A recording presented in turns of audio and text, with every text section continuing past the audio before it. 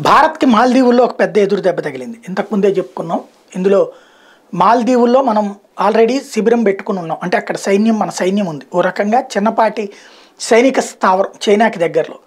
మాల్దీవుల్లో తెలివిగా చైనా పన్నినటువంటి వ్యూహం అక్కడ ఉన్నటువంటి ప్రభుత్వాన్ని మార్చేయగలిగింది. కొత్త ప్రభుత్వం మొన్న ఎన్నికల్లో కొత్త ప్రభుత్వం గెలిచింది. ఈ కొత్త ప్రభుత్వం వచ్చేటప్పటికి అక్కడున్న విదేశీ సైన్యం ఈవెన్ అమెరికన్ యూనిట్స్ ఉన్నాయి. అద్దెకి డబ్బులు కడుతుంటాం మనం.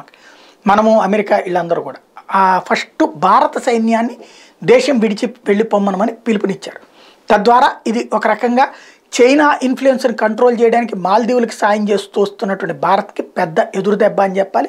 తద్వారా మాల్దీవుల్లో చైనా ఇన్ఫ్లుయెన్స్ అన్నటువంటిది పీక్ స్టేజ్కి చేరిందని చెప్పాలి.